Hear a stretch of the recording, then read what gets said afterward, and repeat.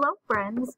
In math yesterday we started working with doubles and near doubles. We're going to continue working with those today and we're going to use doubles and near doubles for subtraction.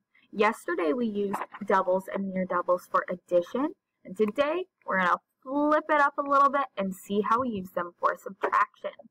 So I'm going to write an example for each thing that we learned about yesterday.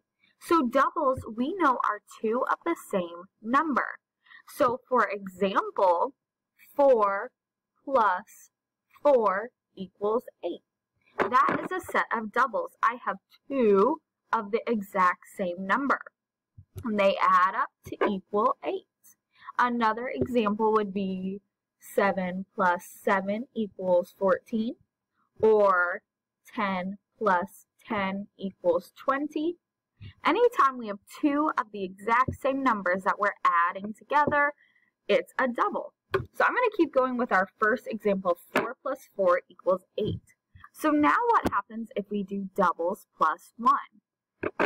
So if I write down doubles plus 1, what that means is we're keeping our first number the same, right? Doubles plus 1, but I'm not just adding 1, right? No, I want to add my 1 to our other double. So I want to add 1 to 4. 4 plus 1 is 5. So I know that my doubles plus 1 looks like 4 plus 5.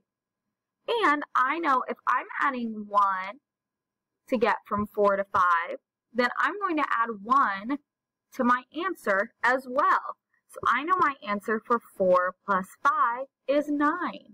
And I can check it because 8 plus 1 is 9. So that's how we do our doubles plus 1. We just change our second number to one more than our double. And then our answer is one more. So for doubles minus 1, it's very similar. So doubles minus 1 we're looking at our original problem again. So it's 4 plus 4. But this time I want to do minus 1 from our doubles. So what that means is I'm doing minus 1 from our second number. So 4 minus 1 is what? 3. So I know my doubles minus 1 looks like this. 4 plus 3 equals what? 7. And I know it's very similar to this one if we're looking at our original and we're doing doubles minus 1, I minus 1 here in my second addend, and I minus 1 here from my answer, my sum. So we get 4 plus 3 equals 7. And we worked on this a little bit with our Unifix cubes yesterday as well. If I look at Unifix cubes for my first doubles, I have 4 plus 4. They are even, right? So I can break them apart into two different groups. Now I'll do my doubles plus 1. So I'm going to add a different color Unifix cube just so we can see it. So I'm going to add doubles plus 1. Now I have my number sentence right here, and I have it in Unifix cubes. I have 1, 2, 3, 4, 1, 2, 3, 4, 5.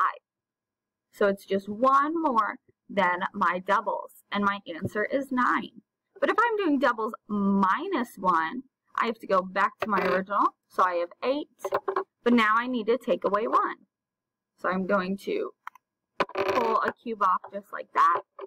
And now I have 1, 2, 3, 4, and 1, 2, 3. So I have my doubles just minus 1. But what happens if we have a number that's not even? What happens if my number is 9? If my number is 9 and I have it in Unifix cubes, can I break it down into two even parts? Into two equal parts? Let's see it. So I have 1, 2, 3, 4, 5, 6, 7, 8, 9. I'm going to try to break them into two even parts and look at that. I can't break them into even parts, right? Because 9 is an odd number which means not everybody has a partner. So I have four in this group and five in this group. If I was just looking at my last example, this would be a near double of 4 plus 4 equals 8. right? Because we know this would be a doubles plus 1 because I have 4 plus 5 equals 9. Now I want to try some with subtraction. So if we're working with our last doubles example, 4 plus 4 equals 8, how can I turn that into a subtraction problem? I would start with my answer, right? So I would start with my biggest number, which is 8. Now what can I take away? So let's see, if I have, and I'm going to use my Unifix cubes for this, I know 4 plus 4 equals, equals 8. So now, if I take my 8 and I do 8 minus 4, 8 minus 4 equals 4. See, so we can use our doubles number sentences to help us figure out how we can subtract. If I know 4 plus 4 equals 8, then I know that 8 minus 4 equals 4. Let's try another one. Here's my next one. If I know that 3 plus 3 equals 6, then I know that 6 minus 3, so if I take away 3 from here, it equals 3. Right, so all we're doing is switching our addition sign to subtraction sign, and we're just flipping around our numbers. So once we know our doubles equations, it can help us do our subtraction ones as well. But now, what happens if we're subtracting from an odd number? So what if my problem looks like this? 17 minus 9. Can I break apart 17 into two equal groups? No, right? Because it's an odd number. We know it's odd because we're looking at our ones place, and 7 is odd. So we know our number 17 is an odd number. So how can we solve this problem? One way is to think about our doubles. I know that 17 is 1 more than 16. Okay, so I'm going to write 16 over here. And I know a doubles fact that equals 16, and that is 8 plus 8. So now this can help me solve my problem. I know that 9 is 1 more than 8. So maybe this I can work with my doubles plus 1. So if I change my 8 plus 8 to a doubles plus 1, it will look like this. 8 plus 9, because we're adding 1 if it's doubles plus 1, and we're adding 1 here, right? So my answer becomes 17. So I know using my doubles of 8 plus 8 equals 16, that 8 plus 9 equals 17. So now, just like we did with our 3 plus 3 equals 6, and our other example, I know that I can turn my numbers to help me figure this out. So if I'm looking at, and I'm going to go ahead and erase my doubles, if I'm just looking at this problem, what number am I missing? Right here. I have 17, I have 9, so the number I'm missing is 8. If I know 8 plus 9 is 17, then I know 17 minus 9 is 8. But what if I did this instead? What if I had 17 minus 8? Could I still use my problem to help me solve it? Yeah, right? I would just look at my missing number. I know 8 plus 9 is 17, so 17 minus 8 is 9. So we're going to look at a few problems on this worksheet, and then you're going to do the rest on your own. So let me grab a pencil. Okay, so if we look, let's take a look at our first one. We have 8 plus blank equals 15. So I might think, hmm, what's a doubles fact that's close to this? And they give us a number, so I'm going to use this number. So I'm going to do 8 plus 8 equals 16, just like we did on our last example.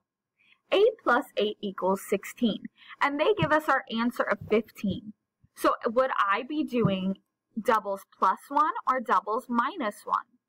Doubles minus 1, right? Because 15 is less than 16.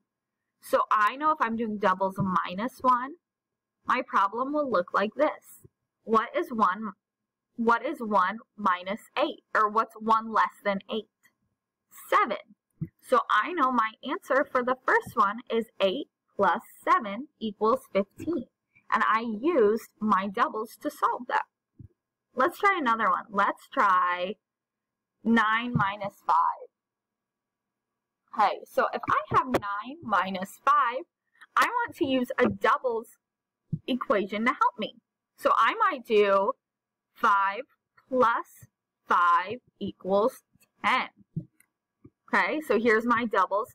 Now I need to either do a doubles minus 1 or a doubles plus 1. 9 is less than 10. So I might do doubles minus 1. So I would say 5 plus, so 9 is 1 less than 10. What's 1 less than 5? 4. So I know a near double number sentence that I can use for 9 minus 5 is 5 plus 4 equals 9. Now I can see what's missing from my number sentence over here. 9 minus 5 equals what? What's missing? Our 4, right? So I know that 9 minus 5 equals 4. Okay, so you can use your different doubles and near doubles to help you solve these problems. Let's do one more together. Let's try 7 equals 13 minus, okay, so we're going to look at this one. 7 equals 13 minus. So I'm going to use the smaller number to help me with my doubles. And that's what I want you guys to do is look at our smaller number to figure out what our double or our near double is. So I might say my double is 7 plus 7 equals 14. Okay, now I need to think, how can I solve this problem? I know that 13 is 1 less than 14, so I'm going to do my doubles minus 1 again. So if I am doing doubles minus 1, I know that 7, my first 7 stays the same, and then my second 7, I do my doubles minus 1. So it would become 6. Now I know for this top problem that I am missing the number what? Number 6. 13 minus 6 is 7. Just like 7 plus 6 is 13.